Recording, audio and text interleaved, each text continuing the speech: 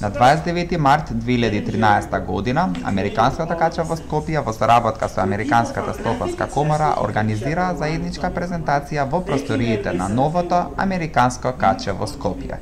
Презентацијата со наслов Етика во бизнисот беше подготвена од страна на професорот по бизнис администрација во Универзитетот во Виргинија Грегори Ферчайлд.